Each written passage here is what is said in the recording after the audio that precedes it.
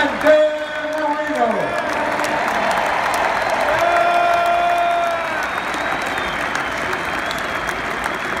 Jimbo, at this time, the University of Pittsburgh is honored to retire your number 75 jersey. Please direct your attention to the southwest rotunda as we officially place number 75 alongside other Panther greats.